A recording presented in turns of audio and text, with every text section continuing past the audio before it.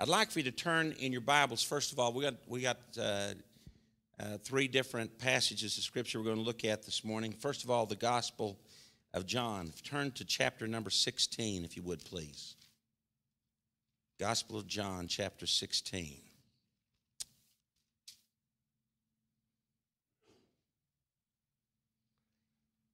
Amen. Let me just read.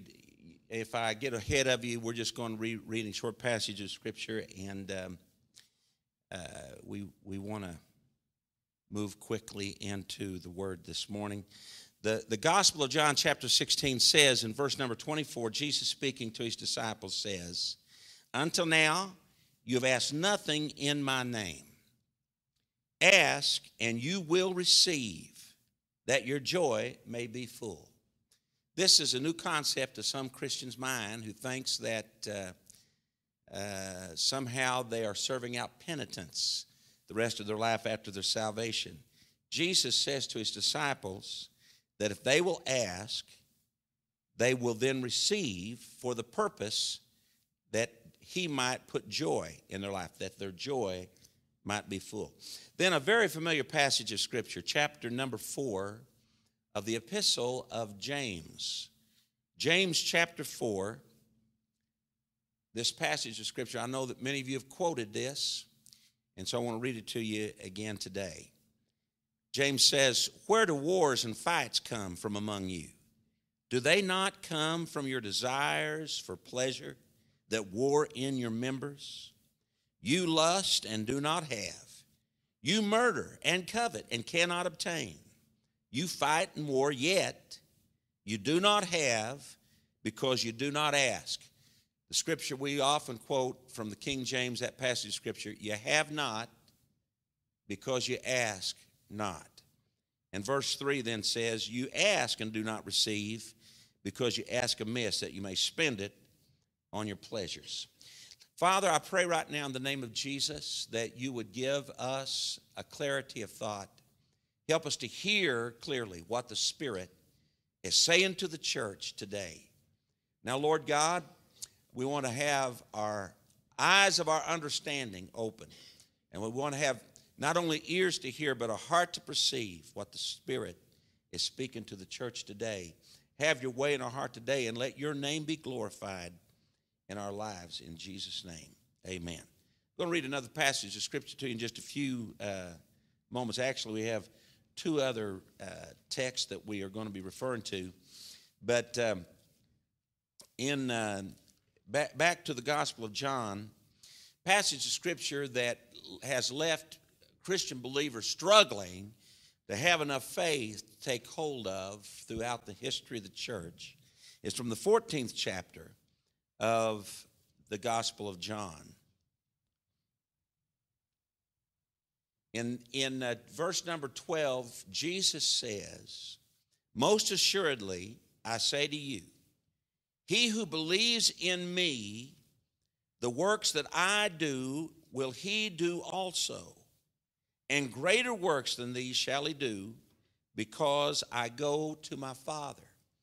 That absolutely blows our mind. Our brain almost hits a short circuit when we try to take hold of that scripture by faith, that we would do the things that Jesus did.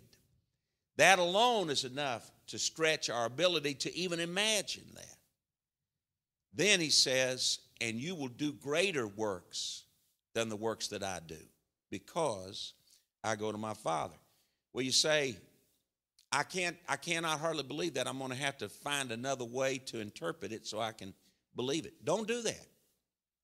You just believe, see, the Bible's really not a hard book to understand most of the time. Most of the time, it's pretty clear. God has the ability to say what He means and mean what He says. Our problem gets comes when we read something that we can't hardly believe. So when we change it to try to make it something easier to believe, that's when it becomes hard to understand. He plainly says, it, it, he that believes on me, the works that I do, he will do. And greater works than these shall you do because I go to my Father. So we need to get our mind, we, we need to insist that our mind line up with the Word of God. Don't believe it because you understand it, believe it because He says it. And so the very next verse then. And whatever you ask in my name, I will do, that the Father may be glorified in the Son. If you ask anything in my name, he says, I will do it. Now, we've been talking this during this month about the solution. How many needs a solution? I mean, we, we can use a solution. I, I, I feel uh, sometimes when I'm trying to stretch my budget. Anybody ever, ever have too much month at the end of your money? I, I, when I'm trying to stretch my budget, I kind of feel condemned. Did you ever feel condemned? Because you thought, man, I should have planned better. I shouldn't be sitting there trying to make my money stretch. It ought to fit. Then I look at the federal government. 13 trillion dollars. I don't even know what that means. So when they say that we win another one and a half trillion in debt this year, why do I care? 14 trillion, 13 trillion, what's the difference? Yeah. It, eh, but um, I, am telling you, we need a solution. And the solution, you, you can say it any way, on your, uh, any way you want to. Accountants will tell you the way to make your budget match is you got two ways to work on your budget to make it fit. You can either get more income or you can get less expenditures or a little of both. But you can't keep spending more to make it fit. Huh? That will not make the budget work. If you did anyone, uh, did anyone ever hear the expression that you were borrowing from Paul to pay Peter or to rob? I don't want to rob anybody, but uh, borrowing, and uh, so we need a we need a solution. God has a solution. Now listen, I'm going to tell you this. God has a solution. The solution is God wants to bless His people and let His people bless the rest of the country. That's the plan. Don't sit around and wait for the Republicans to figure it out because they won't do it. Don't wait for the Democrats to figure it out. They don't have a plan. God's got the plan. God wants to bless His people, and His people is going to bring this country out of debt. Wouldn't you like to be the guy? Wouldn't you like to be the guy that wrote the tax check that brought this country out of a $13 trillion debt? You wouldn't. Yeah, I want you to know you would. Do you know how much you'd have left? You ain't got a hold of this. Let me move on. I, I'm trying to tell you, know, some people always trying to figure out, you know, how am I going to keep from paying taxes? Quit making any money.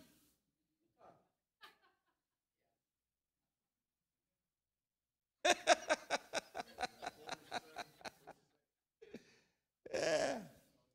God's got a solution. This is the solution. First of all, God, ta- God taught us to ask. Prosperity, God's blessing of prosperity is the same as anything else that comes from the Lord. He wants us to ask Him and believe Him.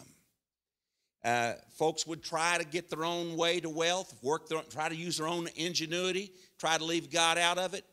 That, that will not prosper. Go ahead and ask God. You have not because you ask not. Why do people reluctant to ask God? It's, it's the pride thing. They want to do it on their own. Let me tell you, don't do that. Make God your partner. Ask God. Ask and you will receive. Seek and you'll find. Knock and it will be open unto you. I want to challenge you with this today. Do not hesitate to write out, we were talking last week about having the plan. Do not hesitate to write out the plan and say, Lord, this is it. This is what I want you to bless. Here is my income. Here is my expenses. I want you to bless this plan. I want your hand to be on this plan and exercise faith. You've prayed, you've asked, believe that God hears you and brings that plan to success. Ask that you can and you and you will receive. Now, Jesus makes us this promise, and we find it a little bit overwhelming. Fact is, even when I'm saying this to you, you know, you're thinking in your heart, whoa, I hope this will work. I want it to work. I want God to bless me. I want to pray a prayer that God will answer and, and will, will provide a solution for me. Folks, you're wanting to believe, but there's this thing that says, ah, sounds too easy. Sounds like another one of those get quick, rich quick thing. I didn't say anything like that. You know, Bible tells us that he that gathers money little by little is wise. This is not a fast thing. This is a lifelong partnership with the Holy Ghost that turns your situation into one of prosperity. But when we ask Jesus, he makes us this promise. He says, You ask the Father in my name, and he says, I will do it. That is the words of Jesus. You ask the Father, he said, in my name, and I will bring it to pass. And, and always the enemy is trying to cloud God's blessing into your life. So he comes and says, Why should God bless you? Why would God want to put blessing into your life? Now, we could talk about a lot of different things, but I'm going to make this very simplistic today. We read it as a text. Jesus said, Up till now, you have not asked anything in my name. But now, he said, I'm telling you, ask in my name. Ask, and you will receive that your joy be made full. He just wants to bless you. And so we want to give him the opportunity to do that. All right. I want you to turn with me to the book of First Chronicles, the Old Testament passage of Scripture. First Chronicles, chapter number 4.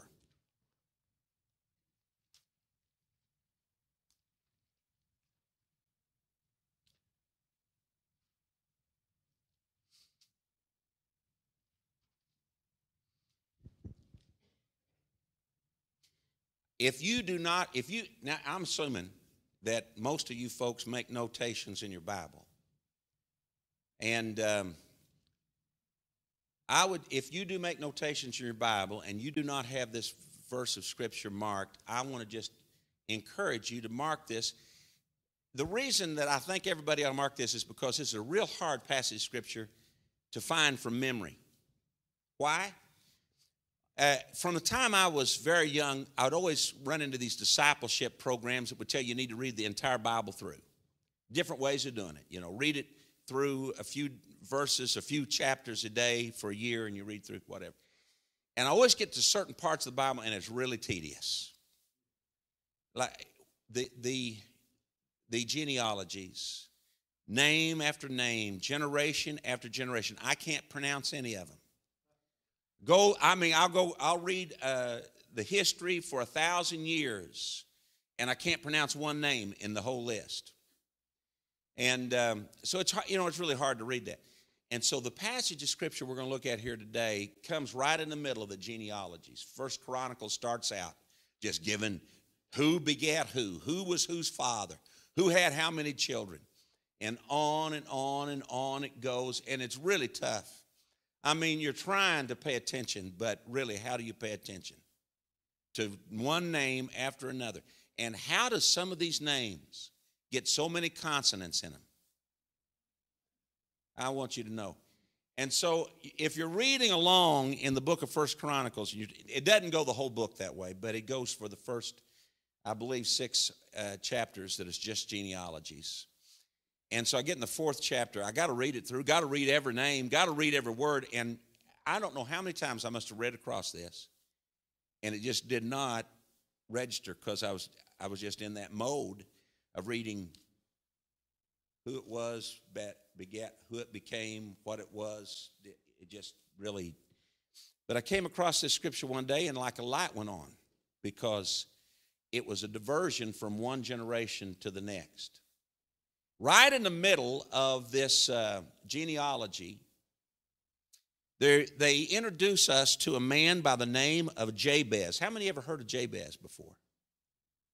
Everybody, I tell you what, everybody may have uh, have the handle on this. Do you know what the name means? Pain. I want you to know my mom named me right. Do you know what David means? Beloved. I named my kids right. You know what Danette means? The judgment of God. You think I'm kidding? If you know Danette, you know I named her right. And um, but Jabez's mother named him Pain. Folks, let me just make a recommendation for you. When you have your next child, you want to christen them, think of something besides pain. You know, pain in the neck, pain in whatever. Just get a different name than pain. And and so the Bible says about Jabez, verse number nine. Now, Jabez was more honorable than his brothers, and his mother called his name Jabez, saying, Because I bore him in pain. He is a pain. He might be more honorable than his brothers, but he's a pain, and I and gave him that name. That's a terrible thing. Well, Jabez could have done what a lot of people would have done if you get put behind the eight ball. Some people just wait for the eight ball to roll over them, but not Jabez. Jabez said, I'm going to I'm going to pray my way out of this. I was born to pain. My mom, my own mom, called me a pain, but I don't want to stay like this. So he begins to pray this prayer. He called on the God of Israel, saying, Oh, that you would bless me indeed and enlarge my territory, that your hand would be with me and that you would keep me from evil, that I may not cause pain. I don't want to be a pain anymore. And God granted him what he requested. Now, what I want you to do when you got more time, because I know you're going to pay rigid attention to me for the next 10 minutes till I finish this message. You won't want to do it now, but perhaps you'd like to do this when you get home tonight or this afternoon. Just open up your Bible and try to find what happened to Jabez. You will not find that name again. You didn't find that name before this passage of Scripture. And now we're talking about his children, but we don't find his name again. What I'm telling you is, God so thoroughly changed the life and the situation. The Bible says that he granted Jabez his petition he so thoroughly changed him that his name was changed. You do not find Jabez ever mentioned again because this man was never a pain again. God granted him his petition. Now, I think that a mistake that some people may get when they read this passage, I read through this thing, 90 to nothing trying to get through this genealogy. I don't know how many times before I ever realized that this wonderful prayer and this wonderful story was ever mentioned in the fourth chapter of First Chronicles. When I finally realized what had happened, I read this passage of scripture and thought, well, isn't this great? I'm going to pray that prayer. The first time I recognized that that was a prayer, I said, I'm going to pray that prayer. And so I prayed it. I prayed, oh God, that you would bless me indeed and enlarge my coast. I pray that your hand would be with me, that it would keep me from evil, that I would not cause pain. Prayed that prayer and waited for my world to change. But I'm going to tell you, if there was any changes that came from praying that prayer that first time, it was very subtle. Very subtle. Maybe there was some kind of response that should have been noted, but I got to tell you that as far as me being able to say that was a life changing day, the day I prayed that prayer, I, I, cannot say that. Then I thought this now, wait, did, did this passage indicate that Jabez prayed this prayer one time and then uh, his life changed and never prayed again? I believe this became the prayer of Jabez, his life. I, be, I believe he prayed it in the morning when he woke up, and perhaps he prayed it again when he lay down for the night. I think that maybe he prayed this prayer several times in the course of the day. It only takes 30 seconds to pray this prayer. He changed his life by praying this prayer continually, and God began to change Jabez's prayer. Jabez changed the way he talked, he changed the way he prayed, and God began to change his life. I want to suggest to you today that we do not have because we do not ask. The Bible challenges us to ask and then we shall receive. We need to ask so that we can receive. Bible tells us we have not because we ask not. We need to ask so that we may receive. And I want to tell you that this is God's solution. That we would form a partnership with God that would not last for a day or two or not last until we feel like we've got an answer to our prayer to, that God's prospered us.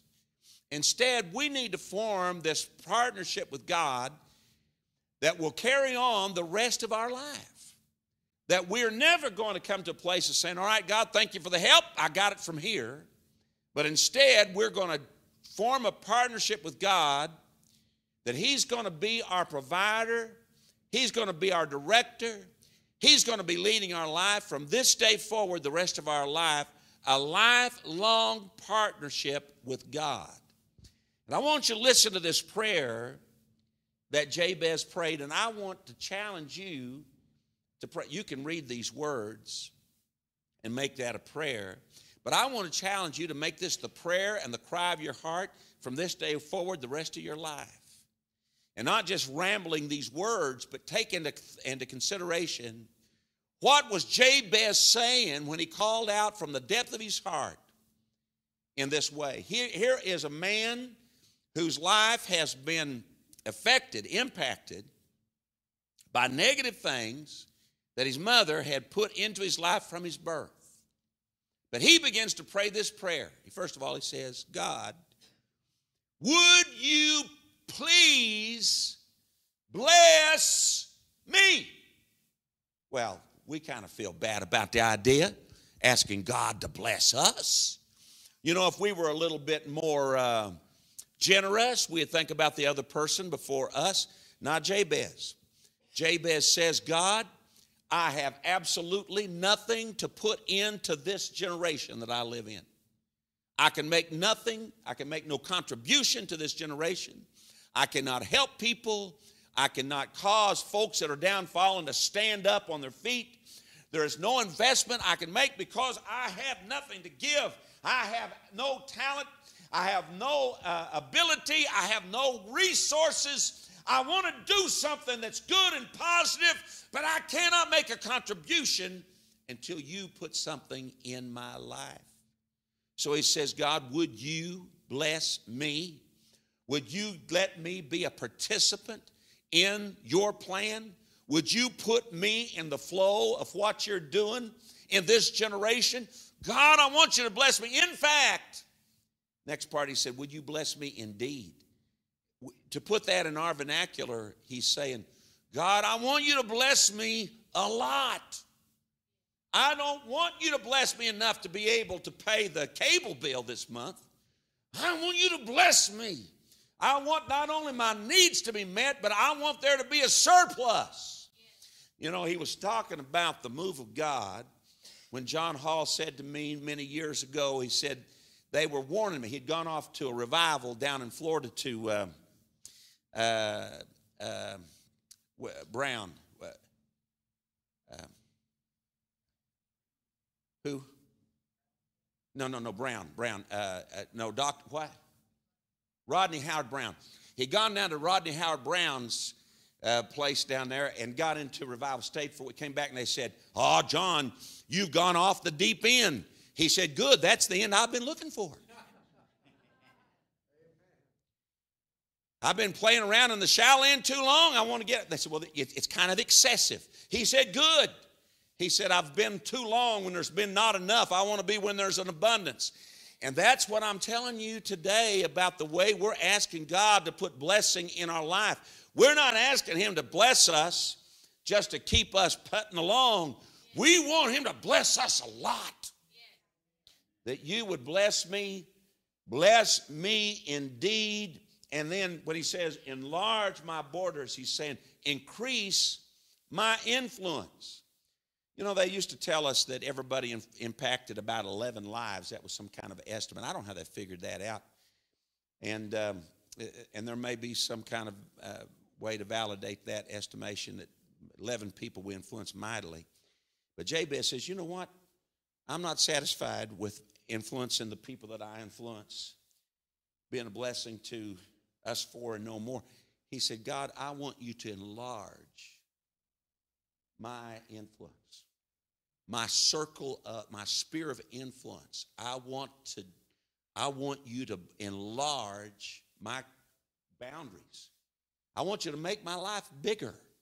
I want to have more going on in my life than just waking up in the morning and waiting for the sun to go down in the evening. I want to be a role player in what is going on. So, Lord, bless me.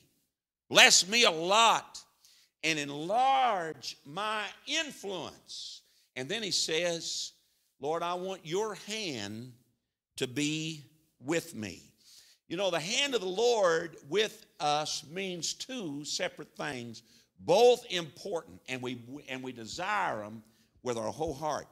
First of all, if the hand of the Lord is with us, it means that He is leading us. We can kind of hear the voice of the shepherd, David in the uh, shepherd's psalm when he said, Thy rod and thy staff, they comfort me. I want your hand to be with me. When I go through dark places, I want to have the hand of someone that knows where I'm going to be guiding me, to have your hand in my life.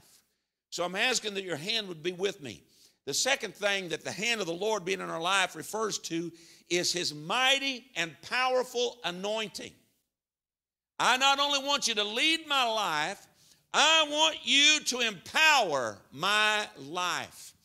I want people to just heave a sigh of relief when I walk in the room because we know that the hand of the Lord's with that man.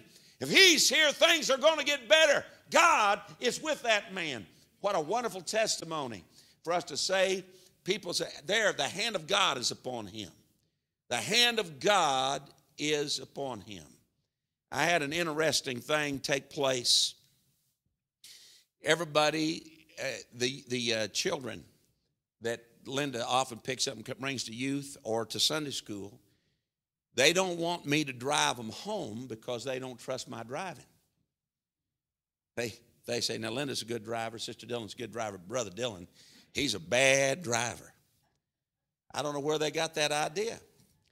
But uh, I, I, um, I had an occasion to be driving a school bus at the plant, and um, I thought I was watching everything real close, but there was um, a chain link fence that came outside the door of the building, and when I turned to the uh, right, I didn't swing out enough to make room for the back end, and somehow the tire or the right, right rear tire just ran over that, uh, it was a T post that was holding up that chain link fence and just knocked it over like that. I heard it fall.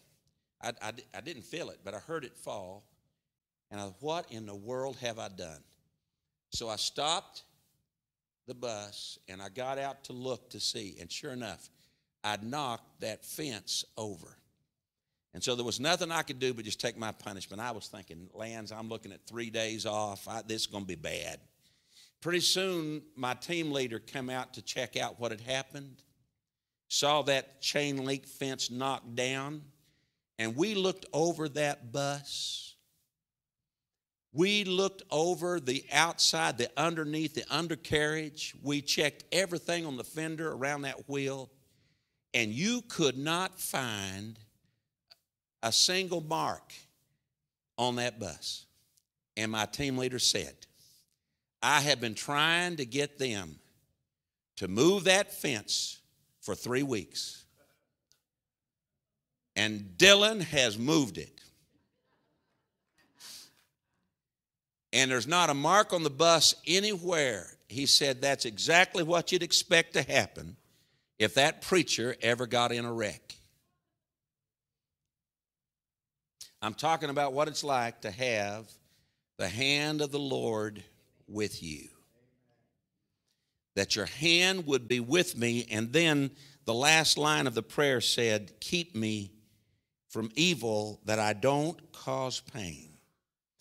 There's two things that mean that is referred to when he says, Keep me from evil. First of all, the same thing as when Jesus said, Lead me not into temptation. I don't want to be subject to the, to the devil's temptation. Keep me from evil. Keep me from temptation. But the other thing is, don't let anything bad happen to me. And when, when the devil meant it for good, for bad, God turns it for our good.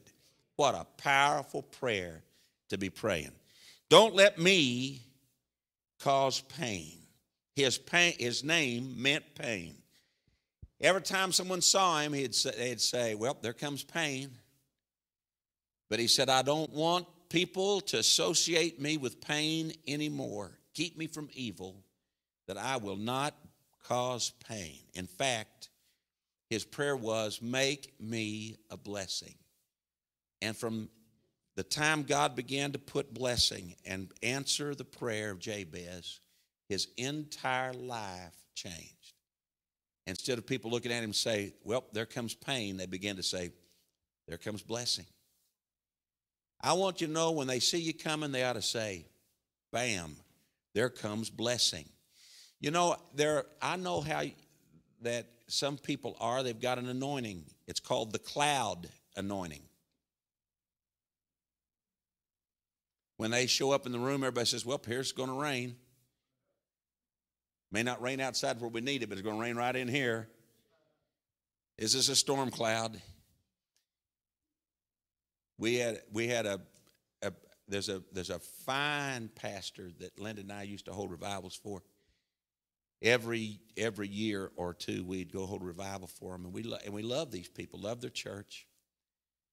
But when you met his wife, every time you just wondered what the battle was this week. You know, it's eh, I want to tell you, we do go through things and we got to handle those things, but here should be our testimony. Our testimony should be that God makes us conqueror and turns our situation around. Amen. Make me a blessing. Do not let me be a pain. I'd like for you to stand with me, please, everyone, today.